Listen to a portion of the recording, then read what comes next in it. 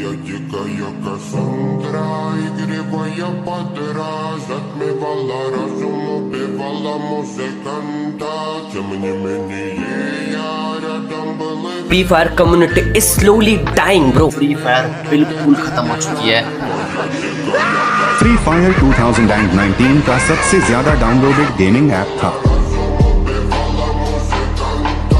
Free fire ने 2021 में 150 million plus daily active users cross किए थे।